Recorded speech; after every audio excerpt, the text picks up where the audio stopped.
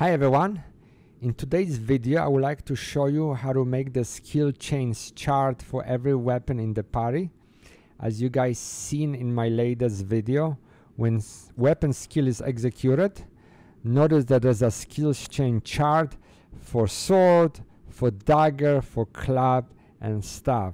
So you can effectively skill chain when you do a boxing or multi-boxing like in my case. So step one is get the skill chains add-on.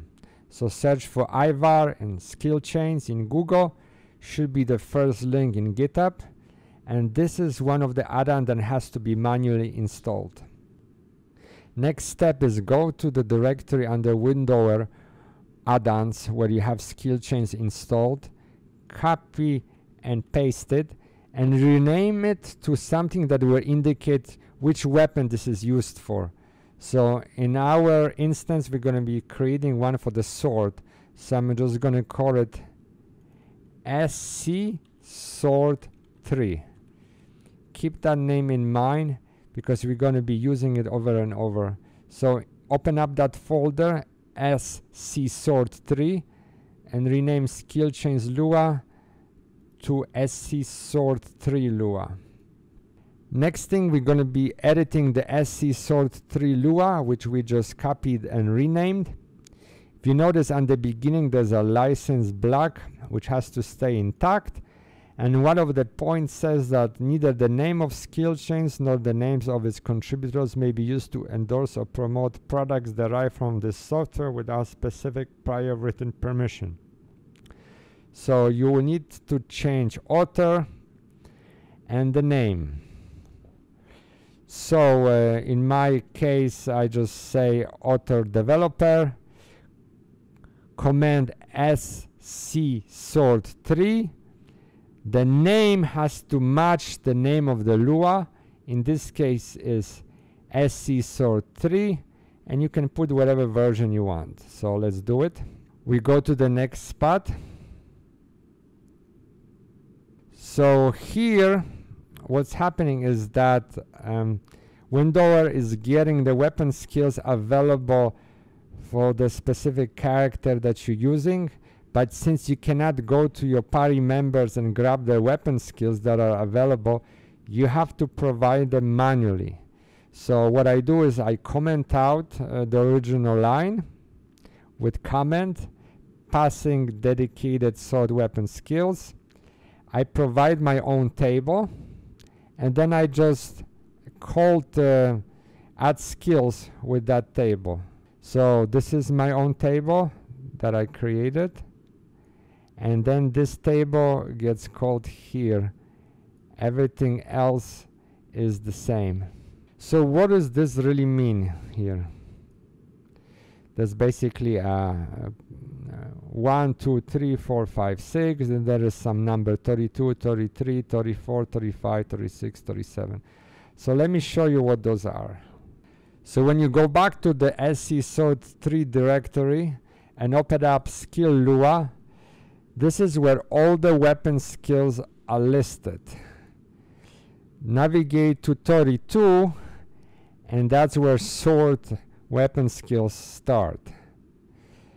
So that's where is the 32 meaning fast blade, 33 meaning burning blade, 34 meaning red lotus blade, and 35 meaning flat blade. So when we go back to the SC Sword 3 Lua, you can see that the first weapon skill is mapped to 32, which happens to be fast blade.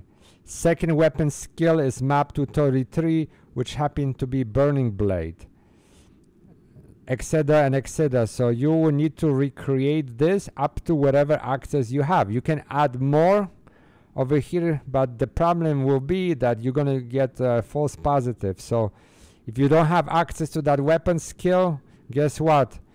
The skill chains chart will uh, inform you that you do. So uh, you can update this as you progress.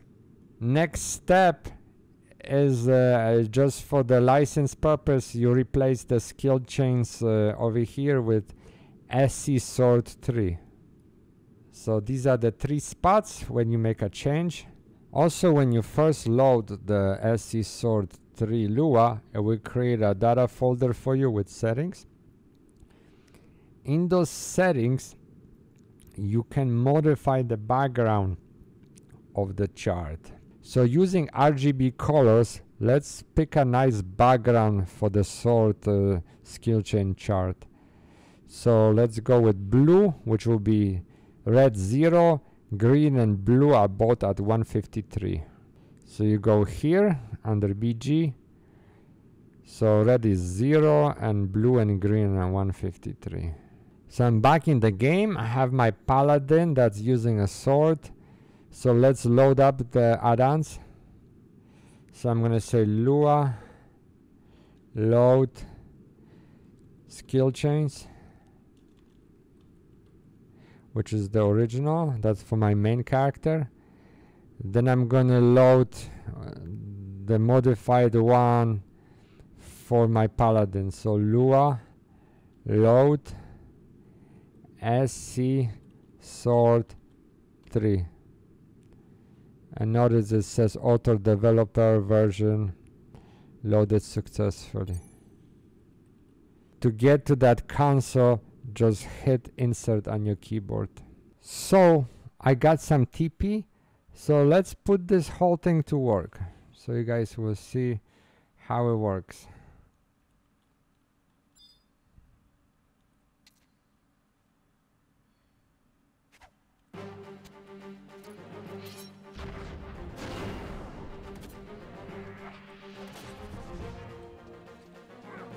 So I'm to execute a weapon skill.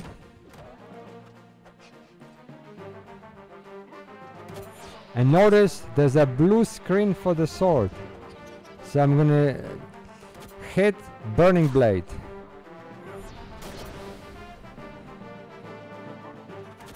So guys, there it is. Very simple.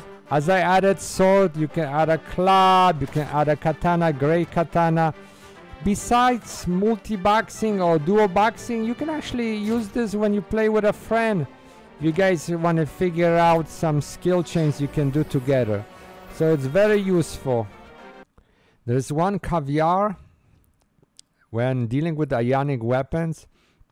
Obviously, Aeonic give you access to the ultimate skill chains.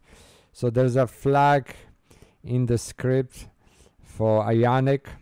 So if you do a wielding a Aeonic weapon, just enable that flag. Um, let me know if you have any questions. Thank you so much for watching. All the best. Please subscribe. Bye bye.